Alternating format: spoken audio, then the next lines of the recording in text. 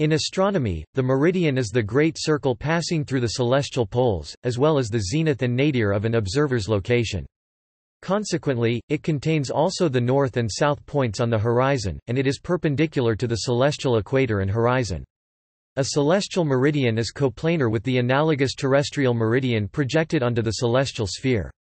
Hence, the number of celestial meridians is also infinite. The celestial meridian is undefined when the observer is at the geographical poles, since at these two points, the zenith and nadir are on the celestial poles, and any great circle passing through the celestial poles also passes through the zenith and nadir.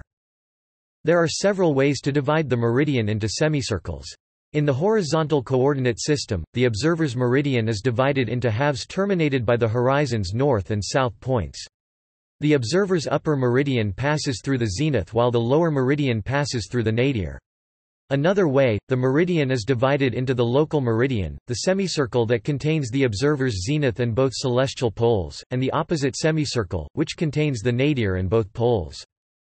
On any given sidereal day, night, a celestial object will appear to drift across, or transit, the observer's upper meridian as Earth rotates, since the meridian is fixed to the local horizon. At culmination, the object contacts the upper meridian and reaches its highest point in the sky. An object's right ascension and the local sidereal time can be used to determine the time of its culmination see hour angle. The term meridian comes from the Latin meridies, which means both midday and south, as the celestial equator appears to tilt southward from the northern hemisphere.